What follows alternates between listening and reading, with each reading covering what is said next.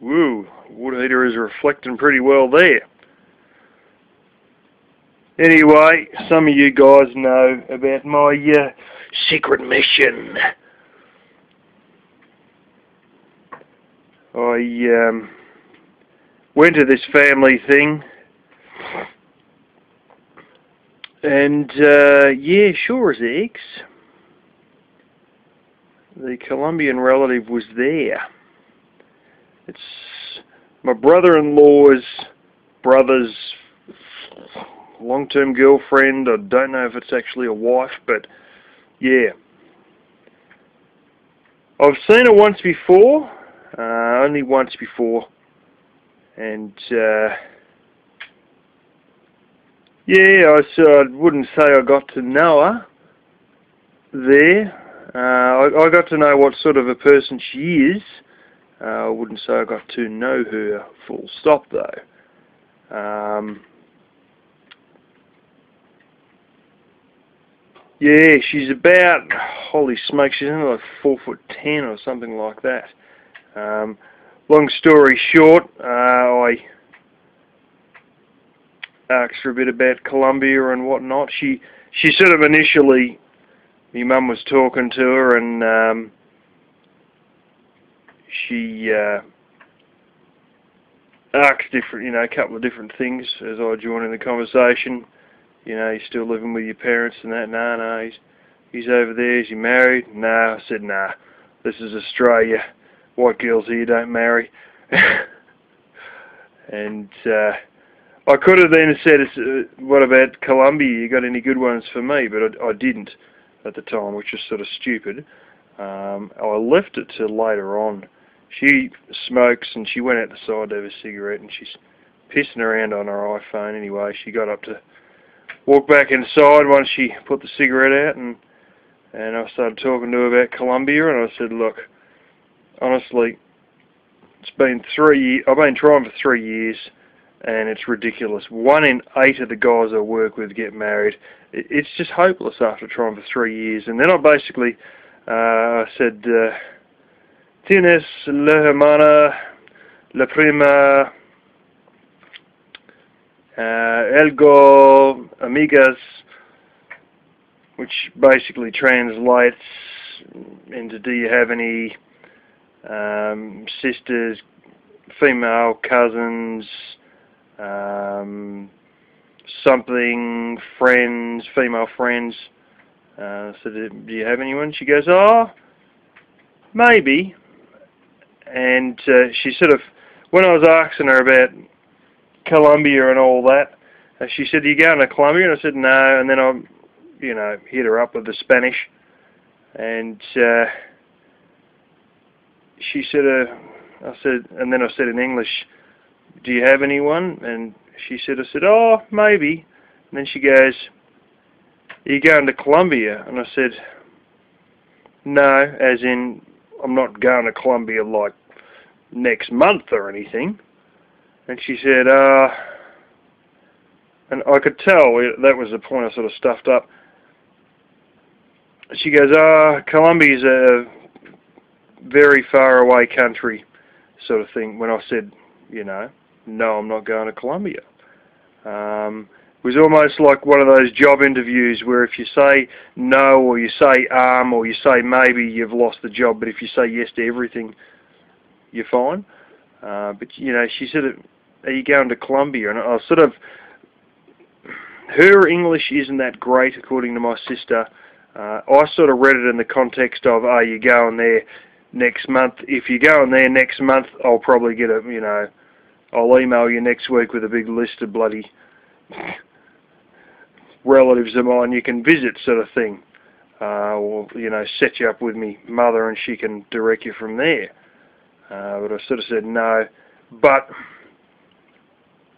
this is the thing with some English, you, you know, she wouldn't ask, are you going to go there or are you planning to go there? She would just say, are you going there? It's shorter, it's easier for her to say, but it, it confuses the context. Anyway, long story short, um, I realised a few minutes later, obviously, you know, where I stuffed up. But it doesn't really matter because I ended up talking to my sister about it all and uh, explaining to my sister how, you know, I'm not learning Spanish for nothing. I'm, uh, I'll definitely go over there. But I don't want to... Apparently, the flight over there, according to a guy at work, it's a solid 24-hour flight over there. Um, and, you know, basically, if you get a connecting flight, you'll probably be flying for bloody three days straight. And as I said to my sister, I am not flying for three days straight, throwing up the whole time um, for a, oh, maybe, or a, uh, oh, well, you can meet her when you get there, but we don't know how it's, you know. I said, and this, this Colombian girl, she's a computer technician. She's not stupid. She knows they all use Skype. And that's pretty common over there. Um, you know, I would rather get to know these girls over the internet, uh, even if I've got to get myself a damn Facebook account um, and join in their sort of, you know, her family on Facebook or whatever, um, you know, or something like that, you know, talk to them over Skype for a while or whatever until I sort of get to know them a bit better and then fly over on a reasonable chance, not fly over there with a maybe, with a never having seen them, never having talked to them, emailed them or nothing, and then just sort of, you know, spend a couple of thousand dollars and, and three days hurling up in planes uh, just for a fucking maybe, you know. So anyway, I'll get my sister onto all that. Um, and I explained half of it, well, about two-thirds of it to my sister, maybe even more, uh, before the brother-in-law come back. Uh, so, yeah. It's uh, anyway. I might as well talk about this uh, custom-made genetics. This girl's got. Fuck, you wouldn't believe it. As I said, she's about sort of four foot ten. When she first come down uh, in the airplane, um, I'd got a plane earlier than all the rest of them, and so I actually went there with one of the vehicles to go and pick them all up. And she sort of walked around and she sort of gave me the whole up-down look, and then she, you know, look me in the face sort of thing. She's a, you may have heard of feisty Colombians. Fucking hell does she fit the bill as a feisty Colombian. She's uh, not the sort of person that would um, back down easily. Tends to have a lot of drama. It, it's you get some old Greeks that are like it, and particularly Italian women that are like it. You know what I mean? They're all all emotion, sort of, you know, pretty feisty. Some of them, I think feisty is the best way to describe um, this Colombian girl, and apparently that's very common amongst Colombians. Um, I sort of said to my sister, uh, nice body and all that, but um, you know, I uh, I don't know I could really handle that much of a feisty personality all the damn time. And um, my sister said, well, you know, I already know she's got another sister, just one other sister, um, who is a single mum. Um, but having said that, she's likely to have cousins, and uh, it's like our cousins. All our cousins have different sort of personalities, you know, and and it may be like that, you know, similar genetics with a different personality, a more timid one that'd suit you, sort of thing. But uh, anyway, there's back onto these genetics. I tell you what, fuck, if I get one of her little cousins that's like 25, 26, I might have just about hit the frickin' genetic jackpot. This is going to sound fucking weird, but I like them short. I like big tits, you all know that. Uh, bigger the better if I look at a girl's face, the prettiness factor to me, like guys, sometimes the prettiness factor is number one. With me, it's it barely even registers, to be honest. Um, as long as there's big jugs, that is the number one, is big jugs. And I like them short, and I like them a little bit fat too. Um, so how's that for a list? Short, fat, and ugly. You know, so you wouldn't expect that I'd have a trouble finding a girl. Uh, but short, fat, and ugly with big tits. anyway, as for this girl, I've seen her before. Now, this was going back when I was still living at home with my parents. Like, she's got a kid who's like five or six now, you know, and when I first saw her, it was before she's even pregnant, so it might have been going back six, seven years, you know. Um, but probably, yeah, probably seven years, something like that. Anyway, long story short, she's about four foot ten. When I first saw her, I just looked at her, and the first thought that came to my mind, this is seven years ago, was, fucking hell, there are two reasons why you've got into this country. Boob 1 and Boob 2. They were fucking huge. Holy smoke. Uh, and she had these jeans on. I know she had a little bit of a stomach that she, you know, the jeans were looking pretty tight sort of thing. Um, and when I've seen her now, it's like it's not that impressive sort of thing. You, you, know, it's just like a basic C cup or something like that. And I sort of thought to myself, well, I wouldn't have noticed them if they were that size. You know, it's, just a small C cup now. You can tell though by a low cut top that you know they've there's no gap in between them, so that they have been rather big at some point, sort of thing. Um, and it took me a few hours at least before the penny dropped on this one she's had a kid. She has less guts now than she had when I first met her. She has a lot less boobs now than when I first met her too. And it took a few hours, but then the penny finally dropped. This is one of these girls where 90 to 95% of all the weight they put on just goes straight to their tits. And when they drop the weight off, their tits shrink back to nothing. Because there's no way that she theoretically should have less guts after having a kid than she before she had a kid.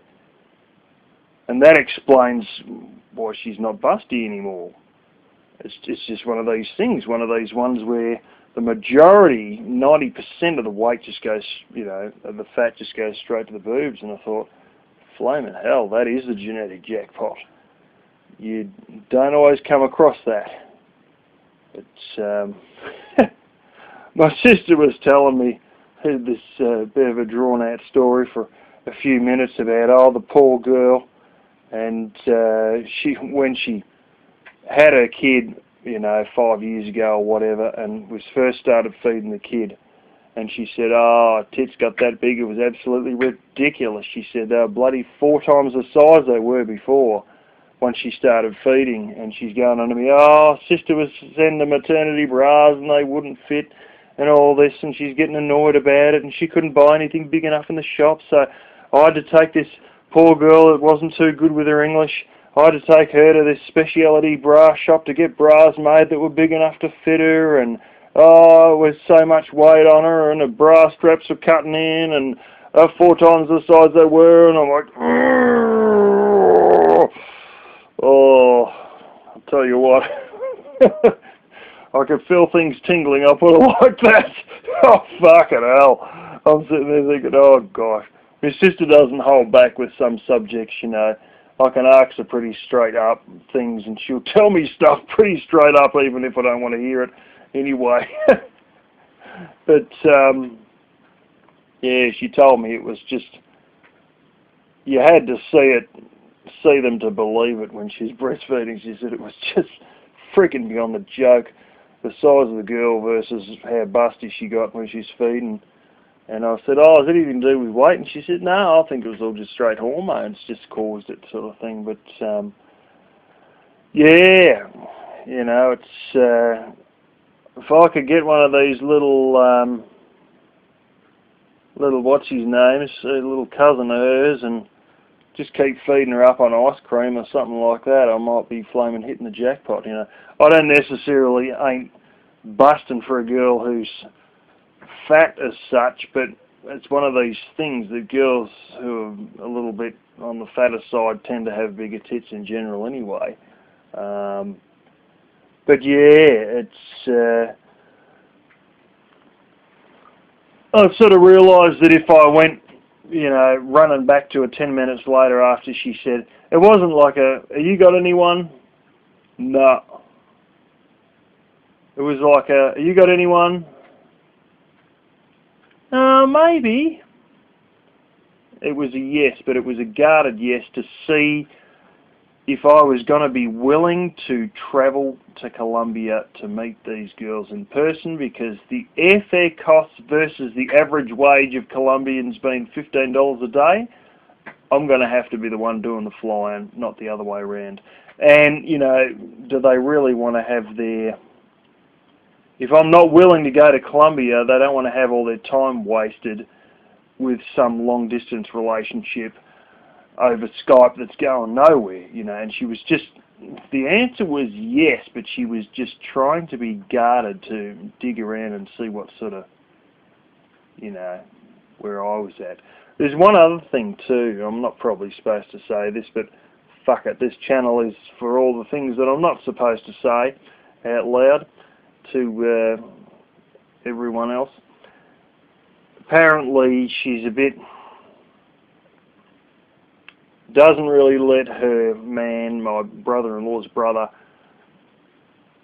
out with his family that much. She sort of tries and keeps him away from his family, and he doesn't really like it that much. But I think in a way it may be to do with the fact that she's got no family members here.